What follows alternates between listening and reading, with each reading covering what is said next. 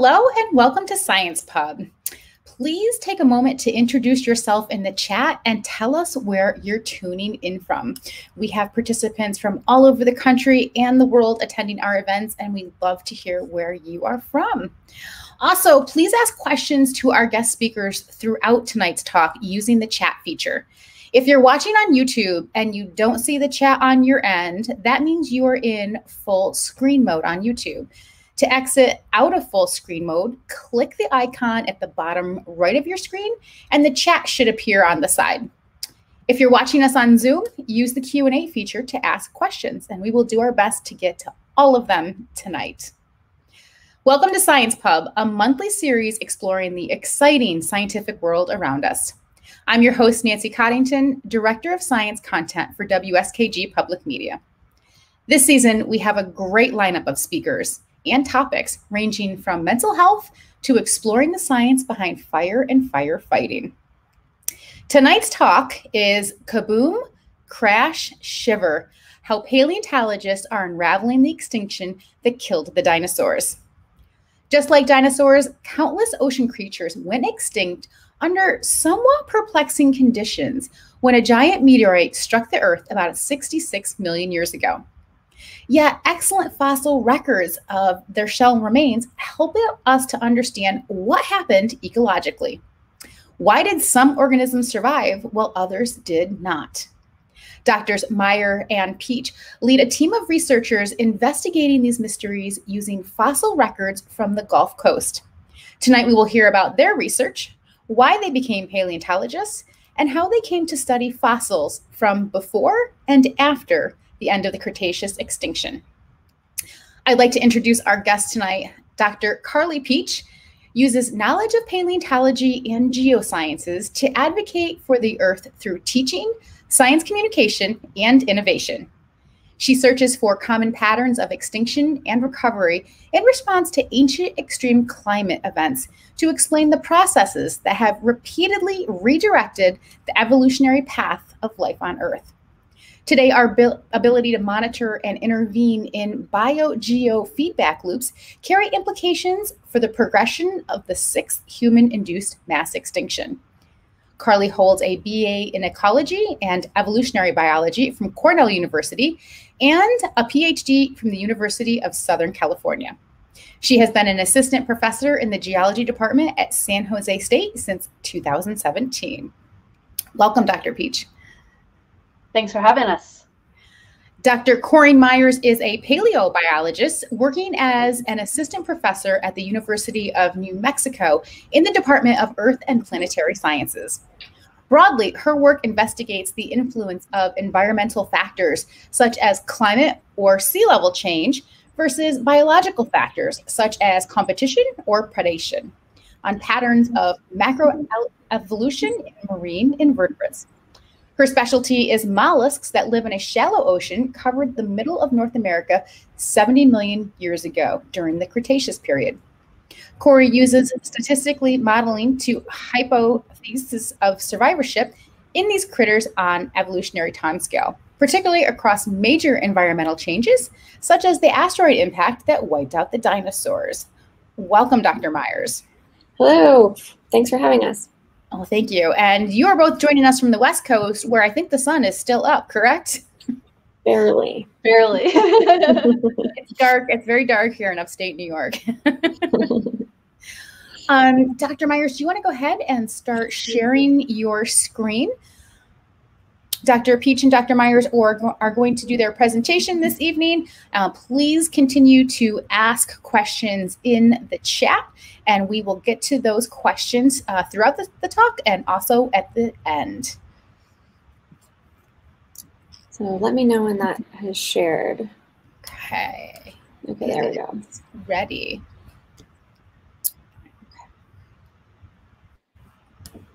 Thank okay. you so much.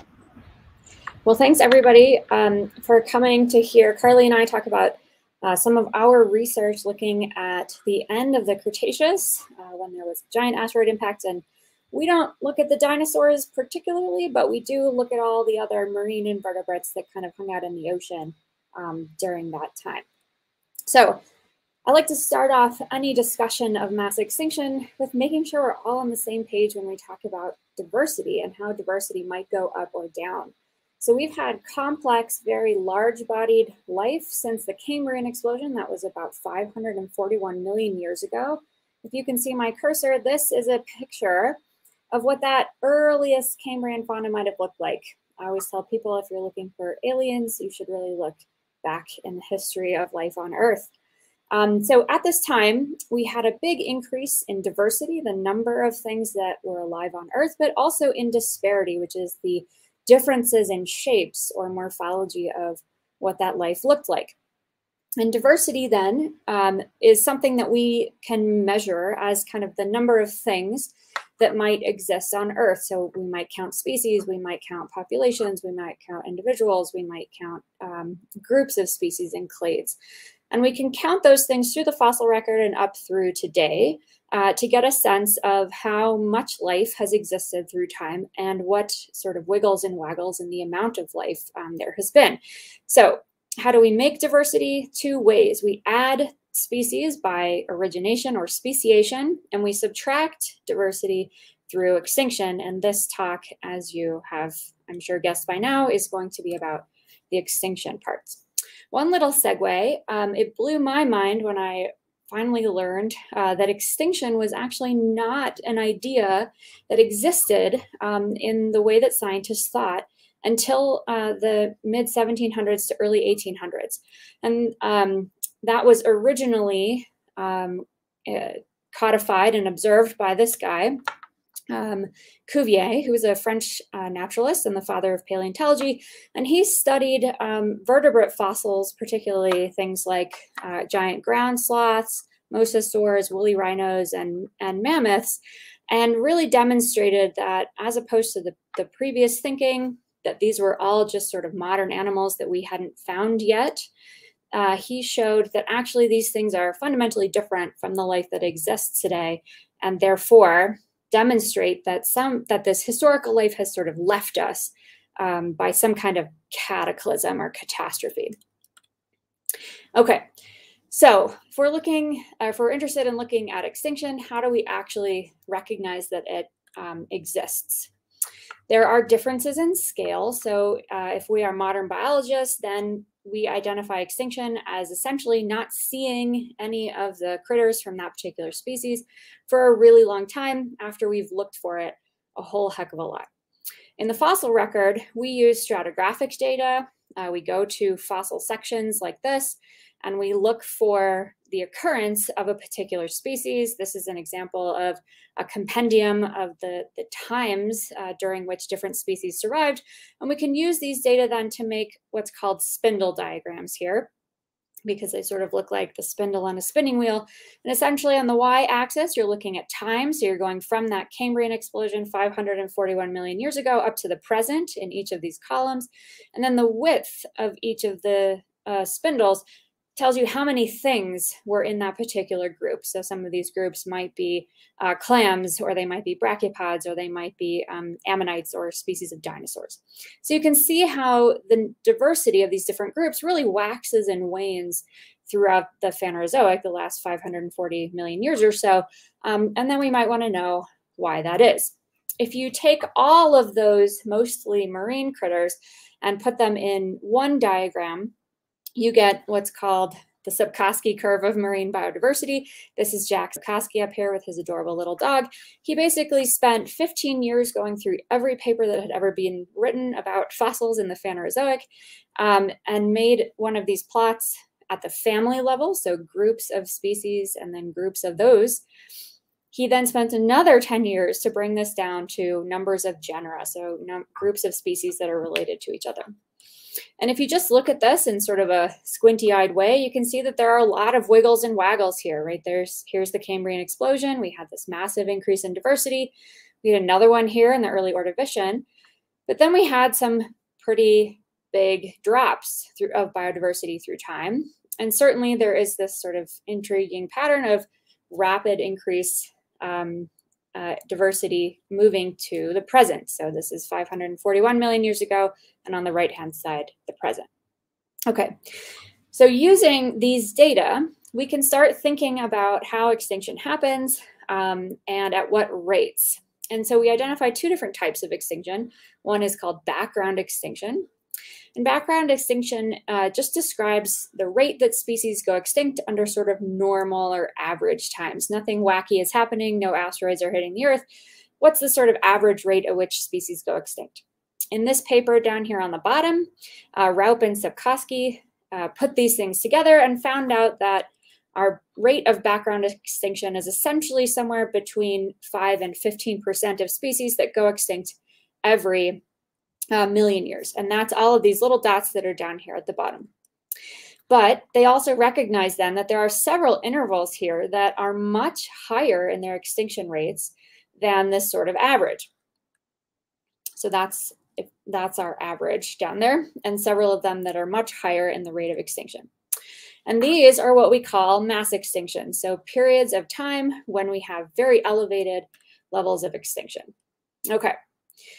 And not just very high extinction rates, but also relative to the number of things that we're adding, right? So if we want to make diversity go down, we can really subtract a lot by extinction. We can also just turn down how many things that we produce by speciation.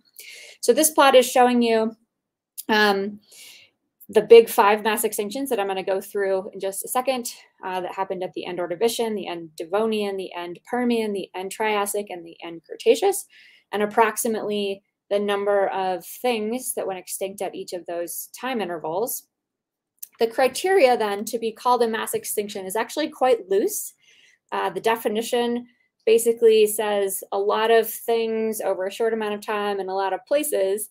And we sort of apply that very abstract definition of mass extinction to say that essentially you have to have about 70% or more of species that go extinct. The extinction has to happen over a very short geological interval, typically less than 2 million years. It needs to be global in extent, so it can't just affect North America, for example. It needs to affect um, uh, animals and plants all over the world. And it has to affect a variety of habitats. So we do a lot of work, uh, Carlie and I, looking at marine invertebrates, things like clams and marine snails. Um, and if it's only killing off things in the ocean, that still doesn't cut it as a mass extinction. It has to also affect uh, things on land, things in deep ocean habitats, shallow, up mountains, down mountains, etc. And finally, the recovery period has to be quite substantial. So if we think of a population today um, that, that gets covered over in lava, let's say, and everything dies, it actually takes about 100 to 300 years before that population can actually grow back to the, the nice, beautiful forest that was there before. With a mass extinction, that recovery period is millions of years. Minimally, it is hundreds of thousands of years, and often it takes millions. So essentially, we're talking about background extinction as something like this. This poor ichthyosaur is dead on the bottom of the ocean, and it's just one ichthyosaur, and the ammonite might want to chew on him. Compared to something like this. Obviously, when an asteroid hits the Earth, that is a pretty catastrophic event that does a lot to change uh, climate and the Earth system, and then uh, therefore can create high extinction rates. Okay, so what's the big five? On in this little picture here on the top right, you're looking at geological time. So the very bottom is when the Earth formed 4.6 billion years ago. When you see uh, this blue uh, rectangle that says Paleozoic, that's the beginning of the Phanerozoic, so 541 million years ago, and then going all the way up to the present at the top where these geologists are excavating fossils. Um, here um, in the big uh, white box, you're looking at the amount of extinction that's happening again through time. So here's the Cambrian on the left, uh, 541 million years ago, and the edge of this is going to be the present. So our first mass extinction is the end Ordovician. This happened about 443 million years ago. 86% of things uh, went extinct over a very short period of time. These are things like trilobites, which I sort of think about as marine cockroaches, rugose corals, these are little solitary corals, um, and conodonts, which are the mouth parts for funny little fishes that sort of look like hagfish. And we think that this end Ordovician mass extinction was actually triggered by rapid uh, glaciation on the Earth. You had this pulse of things getting very cold and you killed everything off. And then you had um, a radiation of things that liked it cold, and then it got warm again, and all of those cold uh, preferring animals then died off. Okay, next we have the Devonian, which happened about 359 million years ago. About 75% of species went extinct. Things like these brachiopods, which look like clams, but they're a little different.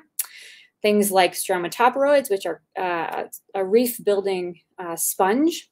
Things like placoderms, our first fish uh, that had jaws, big, great predators, but their jaws were actually on the outside of their bodies with these weird plates. Things like my favorite, the ammonites, more ammonoids, and then more of our trilobite friends here. And we think that the Devonian was actually uh, caused by the emplacement of a large igneous province, which is basically a giant volcano that erupts for thousands to hundreds of thousands of years and outputs tons of lava and also tons of greenhouse gases and other nasty gases into the atmosphere that can cause things like anoxia and acid rain. Okay, the end Permian is by far the worst of the extinctions that we can observe uh, in the Phanerozoic. It happened 252 million years or so ago, and upwards of 90 to 96% of species went extinct. So that, let's take a minute to just um, really visualize what that means in your head, right? Only 4% or so of all life made it through the end Permian mass extinction. Um, so some of these animals, fenestrate bryozoans, the sea scorpions, the eurypterids, trilobites go extinct completely forever, as well as these um, bizarre tabulate corals. A lot of these things went extinct forever and never came back. But a lot of everything went extinct at this time, and barely anything was left then to start the Mesozoic um, and actually rebuild diversity into something that's more similar to what we might see in ecosystems today. We are pretty certain that the end Permian was triggered by a very another large igneous province um, called the Siberian Traps uh, that erupted across Siberia, three million cubic kilometers of lava over um, maybe 100 to 200,000 years.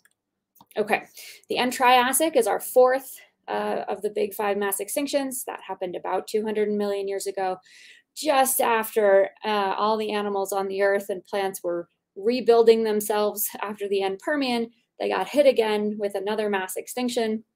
80% or so of things went extinct.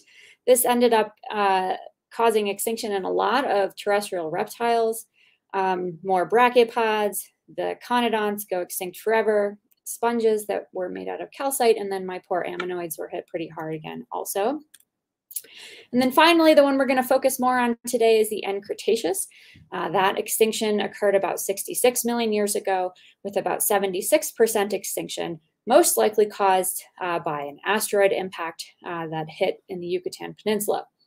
My favorite bivalves, my favorite clams, the rudist, this guy is like an ice cream cone looking clam, uh, went extinct at this time. All of my beautiful ammonites went extinct at this time. And we actually lost all of the marine reptiles. So prior to um, prior to the end Cretaceous, the oceans were quite dangerous. They weren't just filled with uh, things that would eat you like sharks, but they were also filled with giant marine lizards in the form of mosasaurs here or plesiosaurs here um, that would also eat you happily.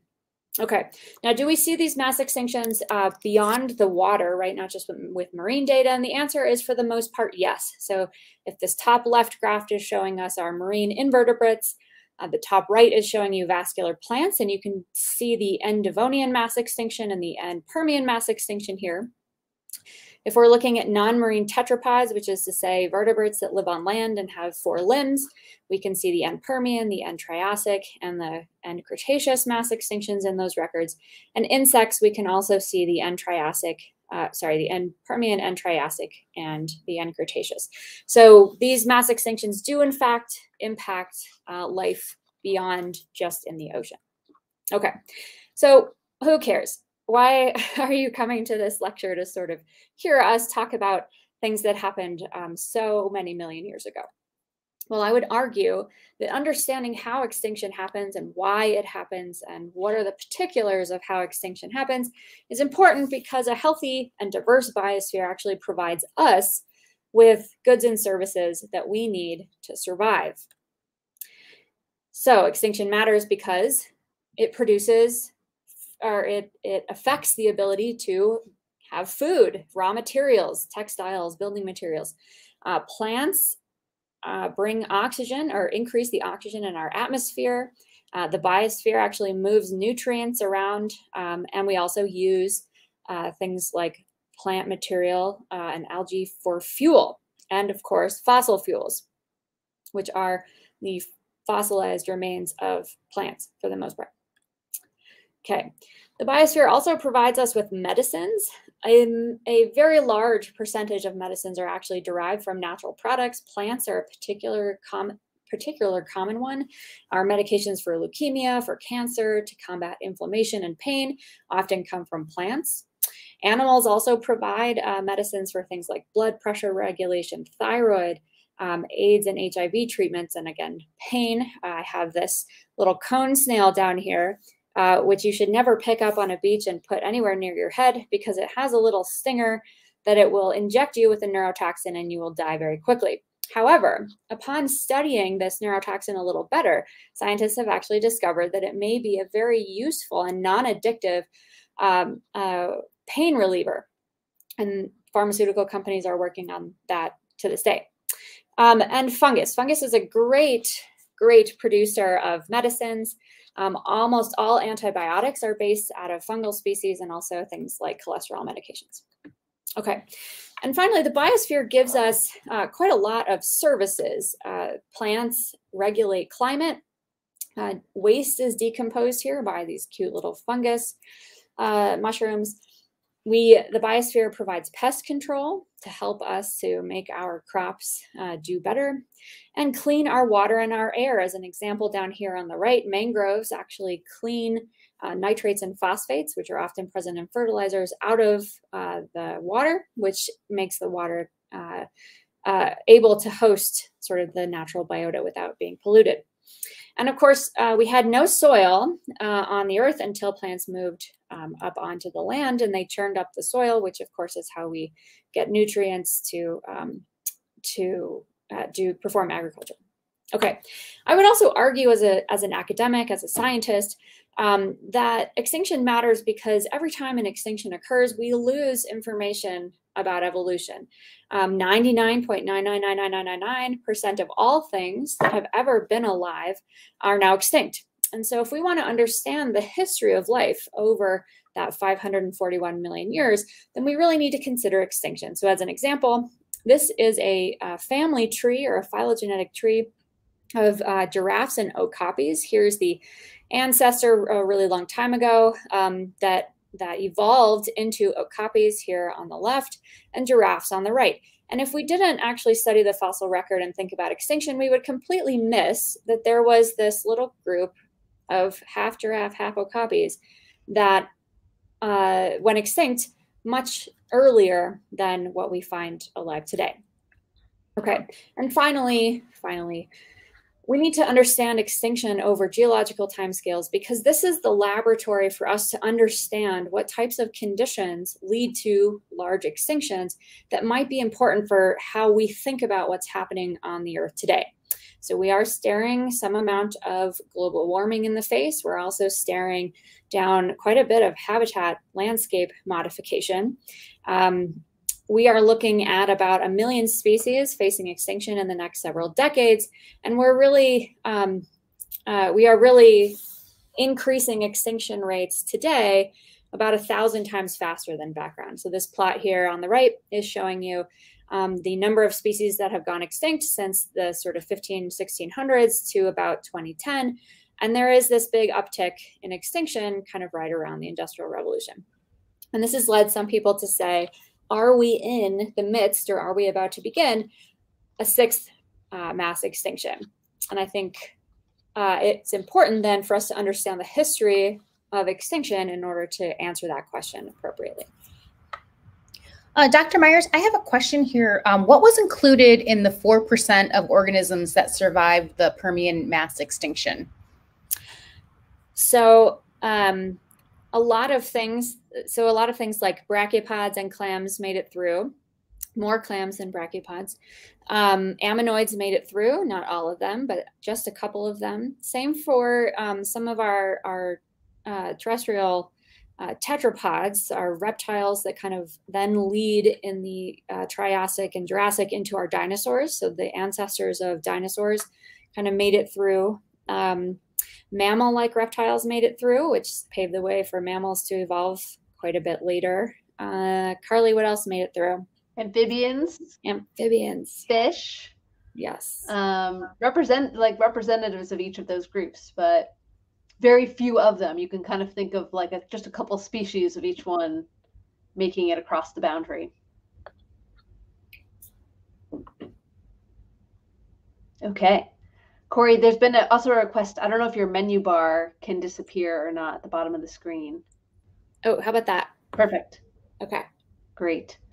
So now that we've had this awesome introduction to the context for mass extinctions and why people like Corey and I decide to study them, I'm going to fill in some of the details about the end Cretaceous mass extinction, what caused it, and why we are studying it. So this event occurred 66 million years ago and resulted in about 76% of all species on the planet becoming extinct. And everybody, of course, knows this mass extinction as the one that killed the dinosaurs, as you can see on the screen. But the first hint that we had as to what was the, the cause of this mass extinction actually came from chemistry that we can see in the rocks. So on the next slide, um, we we have this idea that we didn't just kill off the dinosaurs.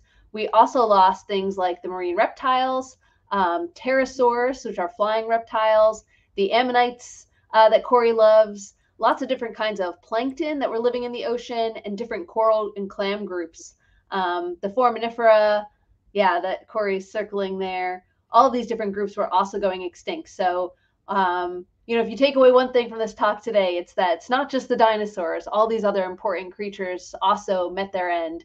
Um, and yeah, so the uh, most likely trigger is this impact event, which many people are familiar with, that there was an asteroid about 10 kilometers across that hit the Earth uh, 66 million years ago. And the first piece of evidence came from uh, two scientists, Walter and Louis Alvarez, who were looking at iridium. So iridium is an element, and we don't have a lot of it at the Earth's surface. There's very little. And they were actually interested in using iridium to study uh, how rocks accumulate at the Earth's surface. How many, how long does it take for sedimentary rocks to get deposited? And they were looking at different uh, columns of rocks. And here is a, a picture of a column of rock in Gubbio. It's a it's a town in Italy.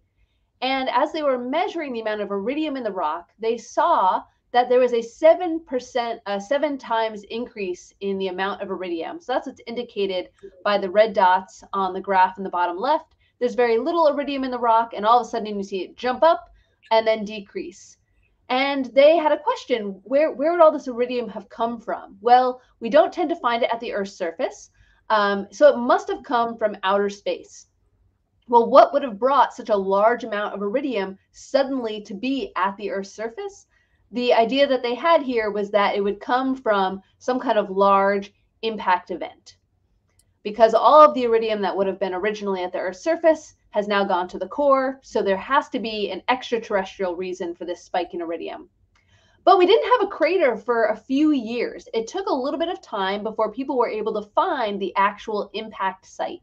So later in the 70s, um, some geologists who were looking for oil we're using the Earth's gravity to look for places they might be able to sample oil deposits. And what they discovered off the coast of Mexico on the Yucatan Peninsula was this weird circular anomaly, this round structure. And they realized that this was the result of an impact crater. So the figure in the center shows you the idea that when an impact hits in the top frame, it results in the melting of the rock that is impacted, as well as the melting and vaporization of the asteroid itself. And then you can see ejecta spewing out from the sides of the crater. Then you have um, sort of like when a, a, drop of water, if you've ever seen a drop of water uh, in slow motion, you have a bunch of material that rebounds in the space where the impact occurred. And then you have the crater sort of filling back in, faulting back in to fill in this circular space. So this crater has now been uh, extensively studied. The rocks have been sampled through drill ships, and we're able to know a lot more about how it formed. But this was able to tie back to that iridium spike, that change in the Earth's surface chemistry, to indicate that there was this extraterrestrial impact at the time that the dinosaurs and other creatures went extinct. The other thing that's really important to realize is that after the impact, we have a huge vapor plume. All of this vaporized rock, the asteroid itself is vaporized, goes up into the stratosphere. And we're able to see a worldwide distribution of material that's been ejected from this crater and is now redistributed around the Earth. That includes the iridium from that initial impact, as well as changes in sulfur and carbon content of the rocks that have moved all around the world. Um, so on the next slide, um, we're able to see indicators uh, at the center, the Gulf of Mexico with red and orange and purple dots, and spread around the globe with the yellow dots, we're able to see examples of changes in the Earth's surface chemistry, so increases in iridium, and also changes in other chemical elements, things like sulfur and carbon, that were at the Yucatan Peninsula but became vapor and got redistributed around the Earth um, as those rocks were vaporized and sent up into the atmosphere. So we have um, shocked quartz. Shocked quartz is uh, a piece of quartz mineral and it's been deformed. So you can see these uh, lines that are running at angles to one another, which represents the uh, pressure that these materials experienced when the impact occurred and then they get blasted into the atmosphere and redistributed all over the earth. So we can find them in rocks spread far away from the actual impact site. We also see tektites and spherules. So these represent uh, really chemically and physically unique pieces of glass uh, that have chemistry similar to the rocks that were at the Yucatan Peninsula, but have been melted, sent up into the atmosphere, and then redeposited as cool, uh, cold little uh, balls of glass. And uh, we actually found some during our field work, which we'll talk about. Um, these little circles that you see in the rock actually represent these little balls of glass that were from the impact and have been shot up into the atmosphere and then fell back to Earth and deposited as rocks in the ocean. And then the last piece of evidence we have for this asteroid impact are tsunami deposits, especially close to the impact crater we see these really disturbed uh, rock units that represent the tsunami wave that would have rushed out from uh, the asteroid impacting the ocean in the Gulf of Mexico across the Atlantic and across the Gulf up into the present Gulf Coast today. Okay. Dr. Pietsch, I have a question. Um, yeah. So, what it was the approximate diameter of the crater? Oh, great question. About 200 kilometers is the diameter of the crater.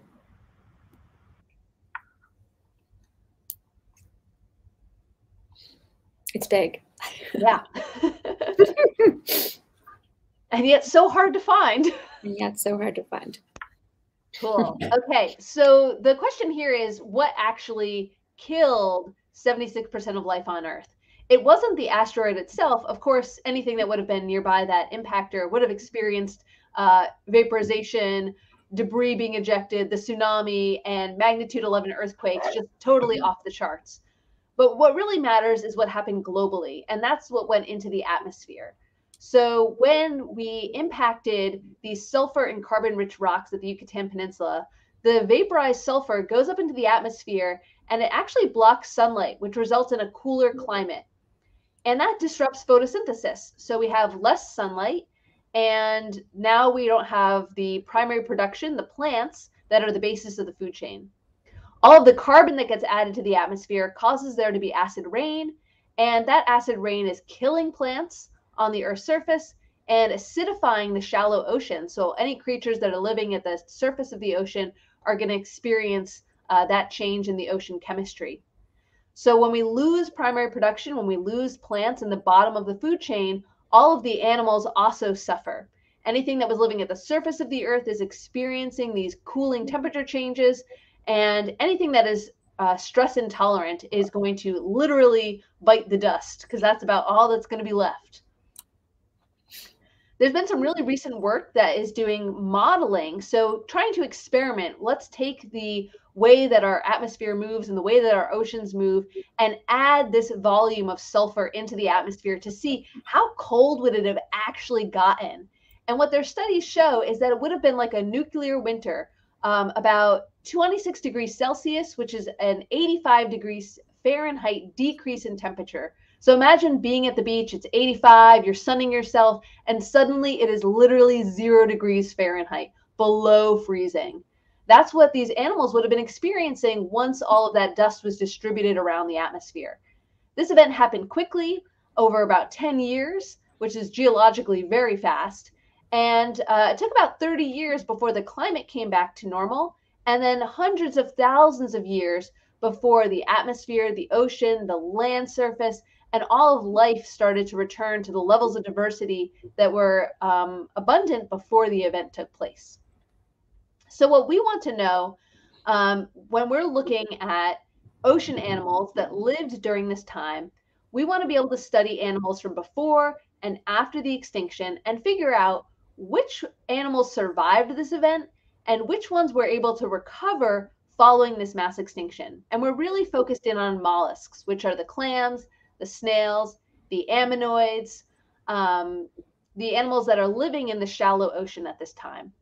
And we want to figure out how the available habitat impacts organisms' ability to survive extinction. If habitat is changing across this extinction boundary because of all those devastating consequences I just laid out for you, is that affecting organisms' ability uh, to survive the event and to thrive in the aftermath? And so we want to document whether species are able to actually change. Do the survivors that make it across the boundary actually evolve new preferences for different habitats or different ways of making a living? And then finally, we want to understand what other ways organisms may have changed in response to this event. Did they change their body size? Did they get smaller or larger in order to survive? And did they change anything about their ecology, the ways that they eat or um, move around? And so we're going to do this uh, by looking at these different sites in Mississippi, Alabama, and Arkansas, which are indicated with these red stars. And we have data from some additional sites.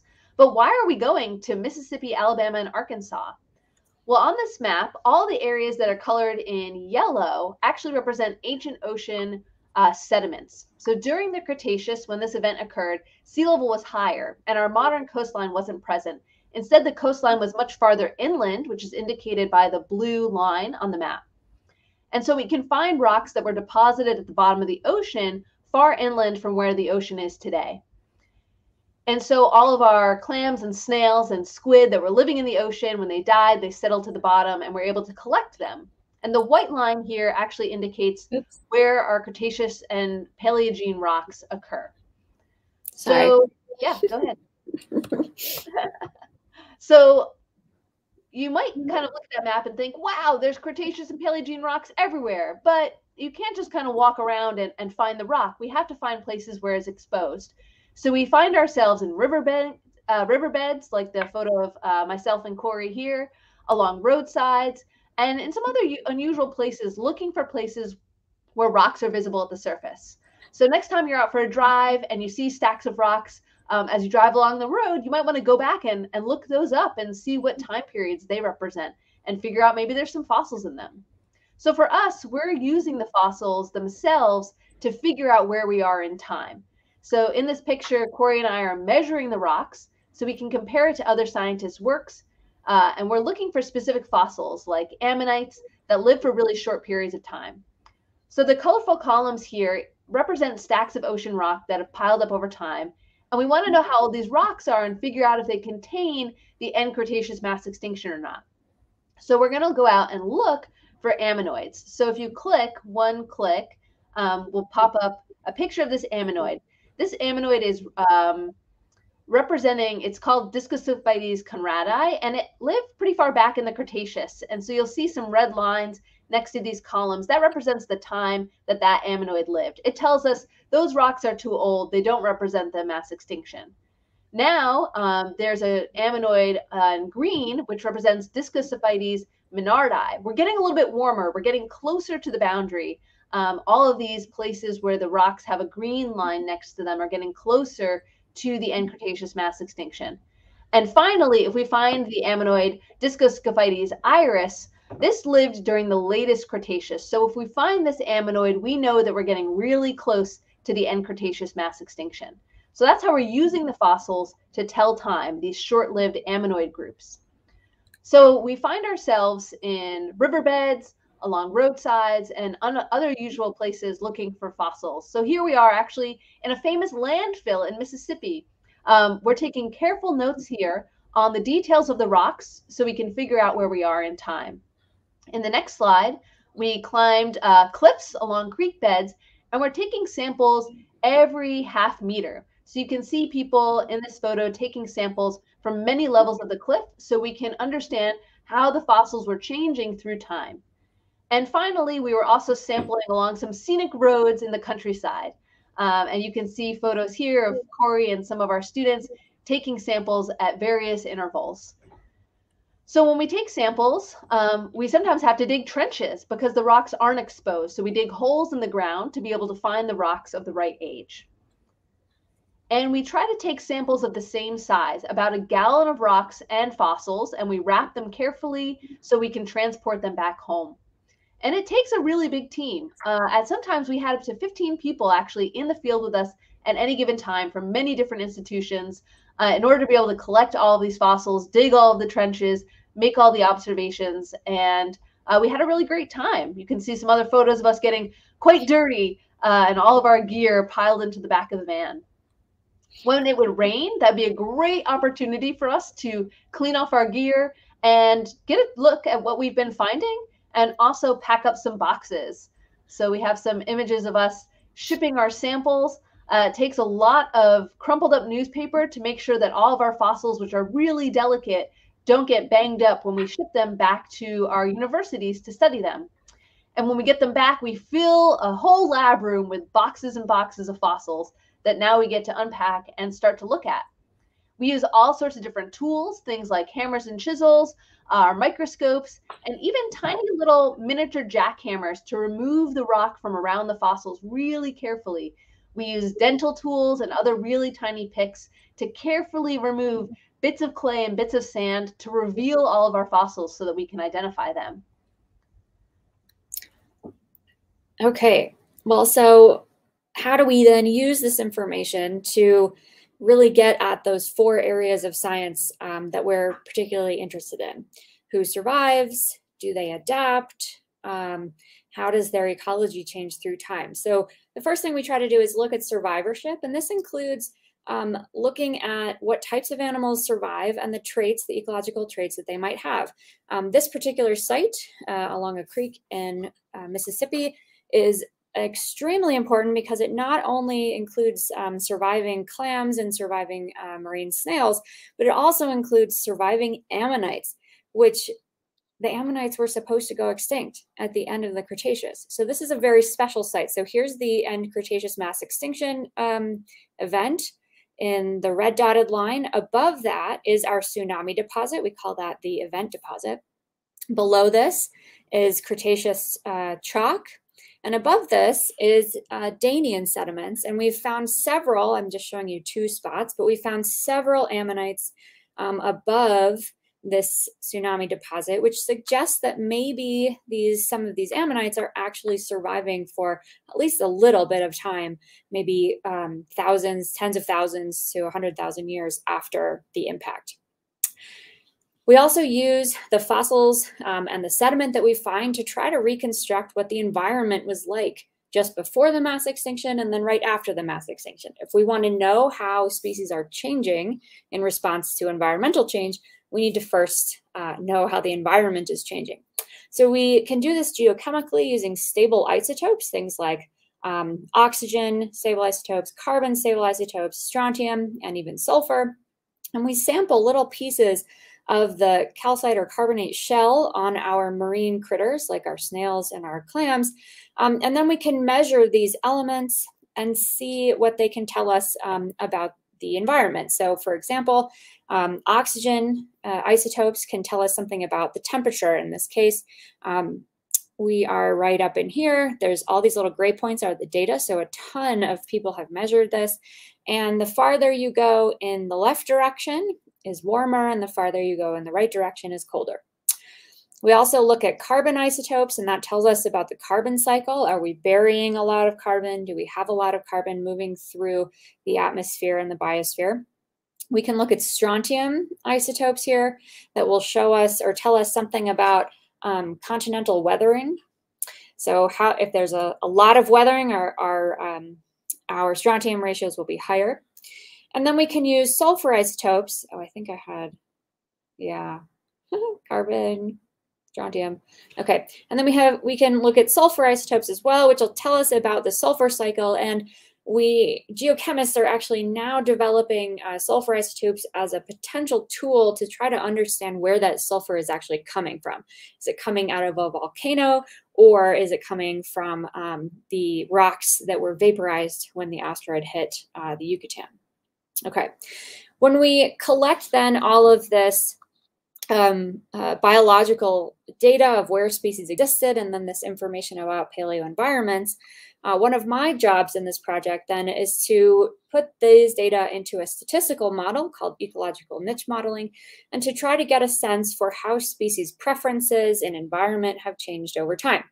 So what you're looking at here is uh, a little map of where there are cone snails uh, that live in the Caribbean. And behind that are uh, environmental parameters. You could think about this blue one as being changes in uh, sea surface temperature. Maybe this pink one is changes in sea surface salinity. And maybe this um, red one is oxygenation at the surface. We can use uh, ecological niche modeling um, algorithms, so different ways of doing these niche models, to essentially correlate where these species are with the combinations of environments that exist at those places. And then the model says those are good because the species can live there. The model then also samples other places where your species are not. And those combinations of environments, the model says, are bad. And so what you get at the end of this exercise is a map that looks like this. The continents are in white. Anything red is predicted to be good or suitable habitat for these species, and anything in blue is predicted to be bad. Okay. So this allows us then to say, what happens to this little cone snail's preferred environment on the other side of the mass extinction event. Do all of these red spaces actually go away? Is that the reason then that, that those little cone snails maybe went extinct? Uh, do the red areas actually expand? Do the cone snails move into different areas? That brings us to another uh, type of ecological modeling that we can apply. And this is this one is actually asking whether species can adapt to changing environmental conditions. So what we can do is we can uh, run a niche model for, say, the Maastrichtian. Let's say the Maastrichtian is uh, in green here. And we can look at where our scaphite exists within this, uh, this environment right before the end Cretaceous mass extinction. And that's what this green blob might be.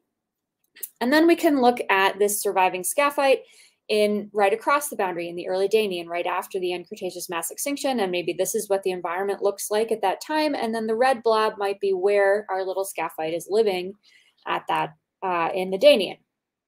Importantly, these uh, axes here are kind of summarizing different aspects of the environment. So for example, it could be um, sort of temperature and salinity space here.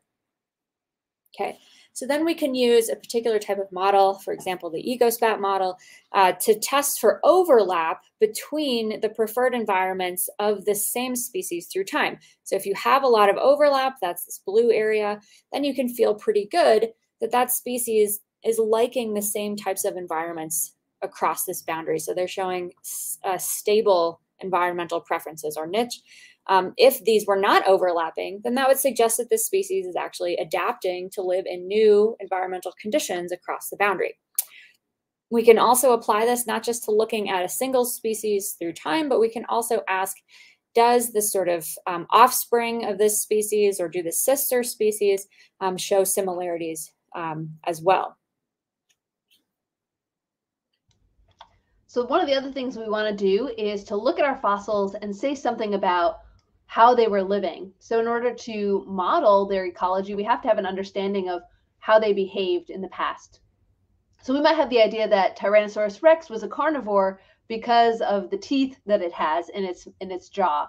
So, we can also look at clams and snails and squid and look at what we know about modern representatives of similar groups and figure out how were animals moving? Were they really mobile and were crawling all over the place or swimming all over the place? Or were they stationary, like these mussels, which you may have seen out adhered to the rocks in a tide pool? Were they buried into the sediment, which is a word we use to describe that infaunal? Or were they living out on the surface, um, like this snail, which is epifaunal? Or again, are they kind of gluing themselves to the rock like an oyster or a mussel? The other thing we're really interested in is what were they eating? Were they um, eating other animals? So were they carnivores, like these snails are actually carnivores? Were they grabbing food from the water column? We call that suspension feeding. Or were they sifting through the mud of the seafloor, which we call deposit feeding? Some of them even uh, use chemosymbiosis. So they have organisms living inside of their shells that are actually doing uh, chemical reactions that produce food for them. So we can look at those changes across the boundary in the amount of uh, feeding types and mobility types to understand how those niches may have changed in response to this mass extinction. So we're able to put together information from the geology, the paleontology, the evolution and ecology, the chemistry, and the statistical models, all to get a really uh, better and complex picture of how the end Cretaceous mass extinction was actually taking place and how life recovered from this catastrophic event. And that's what we really want to understand. We want to understand if, if we're causing an extinction today, uh, what is that recovery going to be like? And what could we be doing to maybe uh, help life return from a mass extinction event? So, this is a clue for how species and ecosystems are going to respond to the really rapid environmental change we have today and give us an idea of which might, which things might uh, make it across the boundary uh, in the future.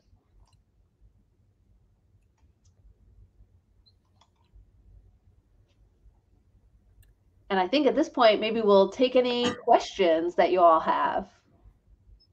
Thanks for coming tonight.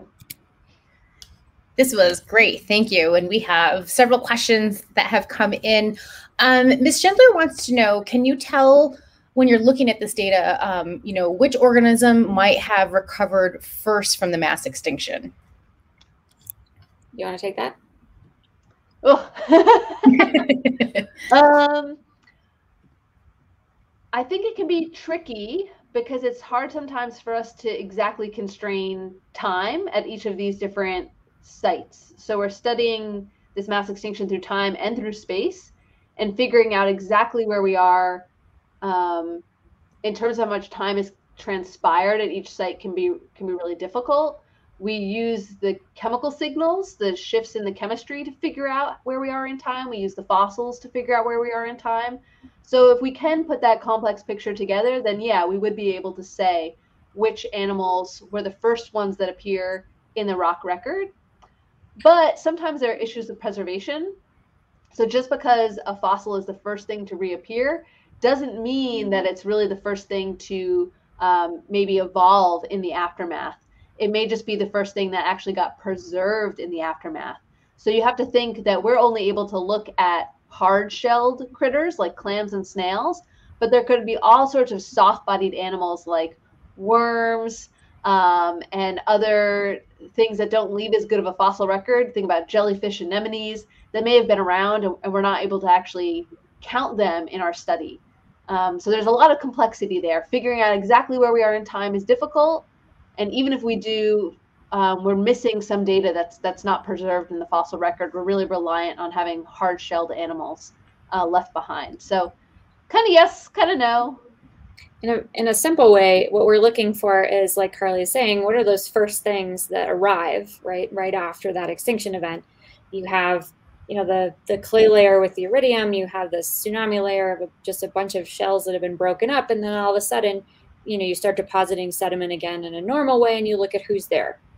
you're not totally sure exactly when they evolved, but you can at least say, you know, here's kind of the early things that we find. And then we ask not just who's there, but also how many of them are there. So, in sort of thinking about how recovery works, we don't just want to know who's there, but we also want to know how quickly they uh, increase the number of individuals, you know, increase their abundance through time, right? Thank you. That was great. Um, Jada has a question. You know, when you are showing some of your examples and everything, there are some colors and textures. So, how do scientists figure out what color and texture an organism was? That's hard. Um, okay, so most of the time we don't have any idea, which is actually why I absolutely love artistic reconstructions of fossil life because a lot of it is in fact artistic. Um, we don't actually have a record of color most often, and especially things that are as old as the animals that we're talking about. If you study things that are not quite as old, maybe things that have um, been dead for I don't I don't know even maybe a million years or so, um, sometimes the chemical properties of the color in that animal can get preserved. Not usually all of it, um, not like all of the chemical signal of the color blue, for example, but maybe just enough of the chunk of that um, of of that chemical record to say this was probably a blue color um, that is being preserved here. And so usually we can find that type of information very you know not very often. You have to have really exceptional levels of preservation. So we call these um, fossil lagerstätten um, which in german means um, kind of like the mother lode type of of, um, of fossilization. But we're actually also preserving things like skin uh, stomach contents sometimes even hair right? If you have that level of preservation, then sometimes you can also preserve these little bits of like the proteins that make um, different colors. So you have to be studying things that are not very old. um, and then you need to be studying things that are really well preserved. Mostly we make it up. it's good science. I love that. Um, Dr. Pietsch, did you always know that you wanted to go into a science career? Yeah, I have I have always wanted to be a paleontologist since I was a little kid. Um, and you know, I, I had some doubts along the way and thought about some other opportunities. I also thought about fashion design. I also thought about being a vet. Um, but I got to take geology classes and biology classes and start to actually work as a paleontologist, um, as a volunteer at a museum and that's what really sealed the deal for me when I was able to have that experience um, and go from there to to go on and get degrees and and be able to teach. Thank you. I'm going to toss that same question to you, Dr. Myers. I had no idea what I wanted to be when I grew up. Um, I was the kid running around with chaos and you know, bull in a china closet. I was interested in everything, um, and so I uh, I actually was lucky enough to have a, a field studies class in high school uh, that took me outside. And at that point, I said, I want to do some kind of work um, that is outside. and so it sounded like geology would be the best thing that would give me the opportunity to work outdoors. So I started a, a geology degree. Um, and then I waffled for another four years. Maybe I'll do anthropology. Maybe I'll do English.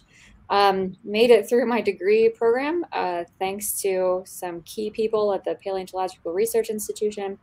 Um, and then I decided I wanted to go study volcanoes. And so I did a master's degree uh, looking at the chemistry of, of volcanoes in the ocean. And as I was doing that, I realized I wanted to study life again.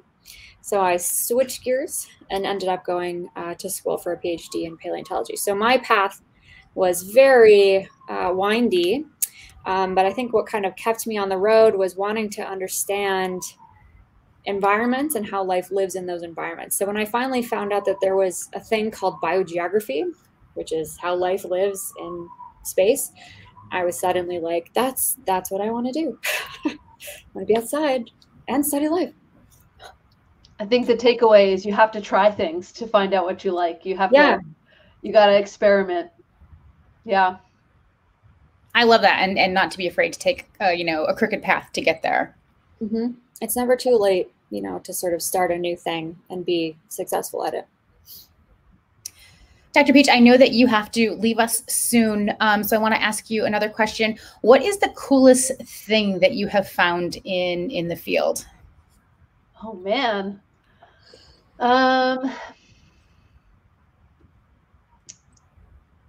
that's so hard. I don't know. Man, Corey, do you have an answer? I don't have an answer. What's the coolest thing? It is. It is a really hard question. Um, probably my favorite things are some of the. I mean, I mean, I love ammonites. I, I imagine that came through pretty loud and clear. Um, some of the really beautiful iridescent kind of mother of pearl colored ammonites that you can get out of um, Cretaceous sediments in um, South Dakota and, and even in some places um, along the Gulf coastal plain, they just have incredible iridescence um, and they're beautiful. That's probably my favorite. I thought of mine. I found once a tiny coccolithophore, which is a, um, a piece of shell that plankton make, caught in between the layers of a snail shell when I was looking at it underneath the microscope. So it wasn't in the field, it was actually in the lab, but that blew my mind and was very exciting. That is that is super exciting. well, thank you, Dr. Pietsch. I know that you need to to go, but Dr. Myers is going to stay with us for uh, a few more questions. And we actually did have a question of somebody asking, "Why do you have such a love of ammonites?" That's probably an even better question than what's my favorite fossil, right? Um, because they're weird, is the short answer. Um, they're basically squids that lived in a shell um, kind of like a modern nautilus, except their shells got really bizarre. So instead of just being nice, a nice little coiled shell, they actually started uncoiling. Um, and they made all kinds of weird shapes. There's ones that look like paper clips. There's ones that look like um, ice cream cones that are unraveling. There's uh, one called Nipponites that I think looks like a pile of dog poop and you just wonder what the heck is going on? How do you be an animal that is alive and eats and in theory sort of floats or swims around and have so many bizarre coils that you look like a pile of dog poop? Um, they're just they're just weird. And i love them. And they're beautiful well, I love that you know you're bringing that into science, so it doesn't have to always be this super serious you know, thing. It's that you yeah. you can have some really funny uh, and interesting things that either attract you in in your field or um, that that come over. Um, we had a question from Jada. Uh, what did scientists think caused the Cretaceous mass extinction before the asteroid theory of 1980?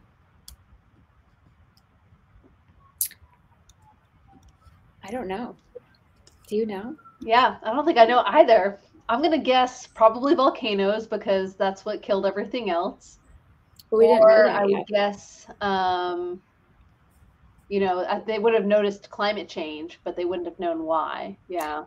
So early on, um, in the 1950s and 60s, the going rate on what caused extinctions was actually sea level change. So Norman Newell at the American Museum was kind of the first guy to say, mass extinctions are important and we should be studying them and actually counting how many things died instead of just you know making things up. Um, and so his theory was that um, mass extinctions were caused by decreases in sea level and he's looking again at these marine shallow marine animals. So if you decrease sea level you're going to kill a bunch of things off. Um, and then there were a bunch of other weird theories that were being thrown around like large igneous provinces big volcanoes. Um, oceans that are anoxic in the bottom but have oxygen on the top and then they overturned for some weird reason and all of a sudden you had all you took all the oxygen out of the shallow water was one. Um, some of some people uh, thought that you would melt the methane that was frozen at the bottom of the ocean. Mm. so kind of like how methane is frozen in peat in the um, polar regions. You you have ice basically made out of methane in the bottom of the ocean. If you heat up the ocean, that'll melt, and then you have this methane burp where you're just throwing a bunch of methane, which is toxic, up into the shallow water and then also the land. Um, what were the other ones? Those are kind of the big ones. Those are yeah, especially the sea level thing that was like used to explain so many different things.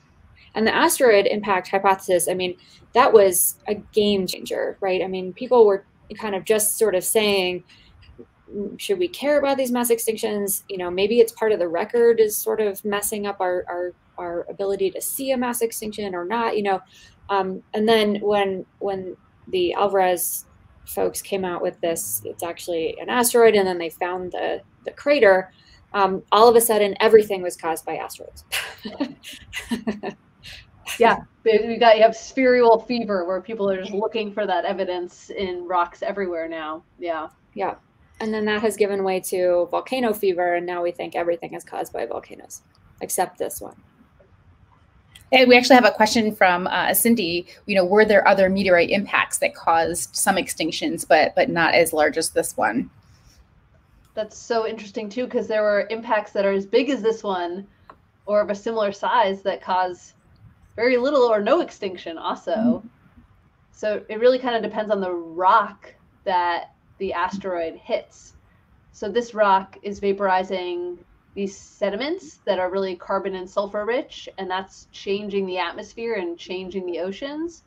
But there's another really big impact crater in uh, called Manicouagan in Canada that hits granite, and that doesn't really change the Earth's atmosphere as much because it's mostly silica, and so that's not going to interact with the oxygen and and cause all of this atmospheric and climate devastation. I don't know, Corey. Do you know of any other ones? Yeah, can I share my screen again? real quick? Yeah, absolutely. Sure. I just I have a graph that I can show you. Oh, cool. Um, tell me when you can see this. Yeah. We see it. Yes. Okay. To go into present mode so we can see it a little bit larger. Okay. Uh, view present mode. Okay, so um, what you're looking at is time on the bottom, so 400 million years ago, and then zero on the right. Um, and then these these peaks are extinction rates. So there's the end Permian, uh, there's the end Triassic, there's the end Cretaceous. This next one is volume of lava extruded by a large igneous province, so a big volcano. And then on top, you're looking at crater diameter of different asteroids. So you can see that there are asteroids that have hit the Manicouagan that um, Carlie was just talking about, and a bunch of others, right? But only in this one case does it seem like um, an asteroid impact actually triggered this mass extinction. Um, in this case, right, we think it's this large igneous province, the Siberian Traps. In the end Triassic case, we think it's this um, Central Atlantic Magmatic Province or CAMP. Uh, same here, there's sort of a large igneous province, a couple of them happening right at the end of the Devonian. Um, so the end Cretaceous really is actually a unique period uh, where an asteroid seems to have caused a mass extinction. But we also have extinctions where we don't have, you know, where we have a lot of volcanism and we still don't have an extinction, right? So there are there's more to this story than, you know, sort of simply picking one or the other. And that's Thank what you. we're sending to. uh, Dr. Pietsch, what do you find most rewarding about being a paleontologist? Um, I have like two answers to that. One is I I really enjoy outreach to young kids who want to be paleontologists. A lot of people find out that I'm a paleontologist and they connect their children to me, and it's actually really fun to like answer their questions. And otherwise, I, I really love um, just the really complex, like interdisciplinary nature of, of paleontology, where you have to do uh, the geology, you have to do the biology, you have to do the chemistry, you have to understand a little bit of all of that and be able to um, work with other scientists to reconstruct this entire story. Um, it's really exciting in a field that is sort of always expanding to include other disciplines. Um, and I really love that about paleontology. And how about you, Dr. Myers? Big picture thinking, right? Um, what do I love about paleontology? Um, for me, what gets me going uh, is the questions. I want to know. The big question is I want to know how the environment impacts evolution. How does changing environment cause speciation or contribute to speciation? How does it contribute to extinction? In contrast to the sort of biotic interactions, things like mutualism, symbioses, competition, predation, um, that seem to really impact um, populations. especially ones that we can observe today. So I'm really into some of these big questions. How does evolution work? How does it work at the level of species and how is that different than how it works at the level of an individual organism or of a, of a population of, of organisms? And I want to know that in the context of where do they live and how does that environmental or biotic uh, regime impact where they can live, so that biogeography component. I also love teaching. Um, I'm a big fan of collaborative work, and that includes students. Um, so I love mentoring graduate students. I love mentoring undergraduate students. Um, and to be honest, my my biggest goal as an educator is to um, produce, you know, undergraduates who graduate college who can be critical thinkers about science and who can be engaged citizen science scientists and view the world kind of through an evidence-based lens. And that's that's so important that critical thinking. I have one last question for you. Um, are either of you aware of an organism uh, that has been accidentally claimed to be extinct but wasn't? This this happens all the time. Yeah. Um, in modern biology it happens all the time right? We can all sort of think back to um, the ivory-billed woodpecker, and someone thought they saw one about 20 years ago. Maybe they did, maybe they didn't, but a lot of people weren't looking for it to try to to see if that was real and whether they were really extinct or not. Same thing with the um, the thylacine, the marsupial wolf. Um, there was some, oh, we thought we saw one. Um, so maybe that wasn't quite extinct, but maybe it was. In the fossil record, we called those guys Lazarus taxa. And they're fossils that you'll see, you know, in one horizon of sediment, and then they disappear for a while, and then they come back. Um, and and we call them Lazarus taxa, and they're they're a problem for us when we're trying to um, measure diversity because clearly they weren't extinct uh, in that middle interval. We just didn't find them there. That is interesting because where'd they go? Somewhere else. or like Charlie was saying, you know, the the preservation regime wasn't good for them. You know, anybody that was there just got bashed to bits by waves or whatever. That's great, thank you. Um, Don Haas wanted to know if the snail, which I think was near the end of your presentation, was from Doctor Who. no, it wasn't Don. um, so what is what is next for you, uh, Dr. Pietsch?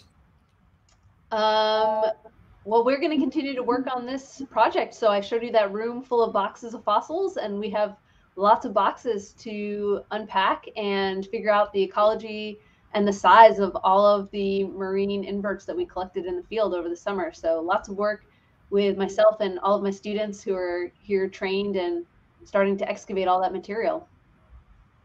Well, that's really exciting. That definitely will keep you busy. There was a oh, lot oh, yeah. there. and how about you, Dr. Myers?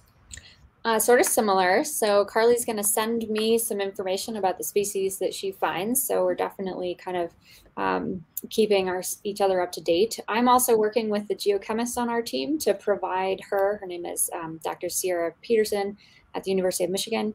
We're providing her with samples of shell of that carbonate shell to try to um, look at stable isotopes of oxygen and carbon and get a sense for um, the uh, temperature regime in our study sites. And all of this information, you know, what Carlie finds and also what Sierra finds, um, and then taking the sort of sedimentological information that we got from fieldwork, those go into my models. Um, and I have a graduate student, uh, Yone Noya Katite, who is in charge of kind of putting all that information together as it comes in.